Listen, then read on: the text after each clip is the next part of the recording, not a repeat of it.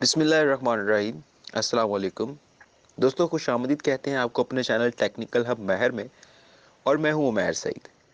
दोस्तों, जैसा कि आपको पता है कि गाड़ियों के जदीद फीचर्स और टेक्नोलॉजी को लेकर हम आपके लिए एक नई नई वीडियोस लेके आते हैं। ऐसे ही कुछ बात करेंगे हम आज की इस वीडियो में, जो कि आपके लिए बहुत ज़्यादा इंटरेस्टिंग होने वाली है।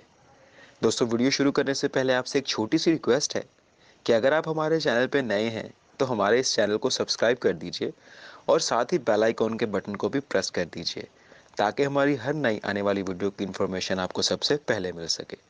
तो बिना टाइम वेस्ट किए बढ़ते हैं अपनी वीडियो की तरफ़। जुड़े रहिए हमारे साथ। तो दोस्तों, आज की वीडियो में हम बात करेंगे होंडा सिविक के बारे में, जो कि बहुत ही दिलचस्प और खूबसूरत नया मॉडल 2022 लॉन्च होने वाला है। उसके क्या क्या फीचर होंगे और उसके इंजन में और उसकी लोकेशन कैसी होगी, आज हम उस गाड़ी के बारे में आपको इन्फॉर्मेशन देंगे। तो दोस्तों होंडा स्विक अलेवन जनरेशन की पहली यूनिट पाकिस्तान में पहुँच गई है और लोग बहुत पुरजोश हैं, जबकि पाकिस्तान इस वक्त एसयूवी के जुनून से गुजर रहा है। कोई भी चीज़ होंडा स्विक की फ़ैन फॉलोइंग पर कब्ज़ा नहीं कर सकती।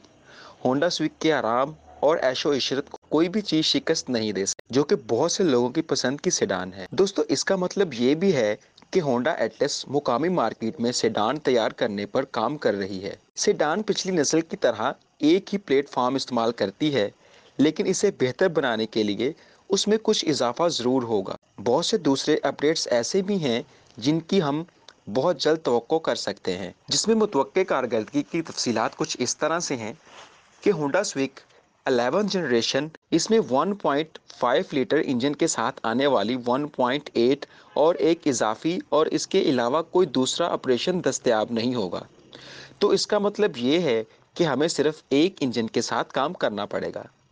ताहम 1.8 लीटर कुदरती बात का ज़्यादा अमकान है कि होंडा आम तौर पर ख्वाहिशमंद इंजन का इजाफा करेगा, क्योंकि इसे पाकिस्तान में लॉन्च होने में भी अभी काफ़ी वक्त बाकी है। तो ये है कि गाड़ी के बाबा आगाज़ में भी अभी कम अज़ कम छः माह बाकी हैं, लेकिन ये छः से आठ माह तक आ जाएगी।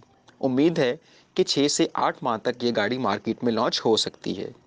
जहाँ तक कीमत का तल्लक है तो तो है कि नई होंडा स्विक अलेवन जनरेशन तकरीबन फाइव मिलियन रुपए की भारी कीमत के साथ आएगी। दोस्तों, ये तो एक अंदाज़ा है कि होंडा स्विक फाइव मिलियन में पाकिस्तान में मतव होगी। लेकिन ये तो एक अंदाज़ा ही है। दोस्तों, ये तो जस्ट एक आइडिया है। लेकिन पाकिस्तान में इस गाड़ी की असल कीमत और रिलीज़ की तारीख क्या होगी, ये हम आपको अपनी नई वीडियो में बताएँगे।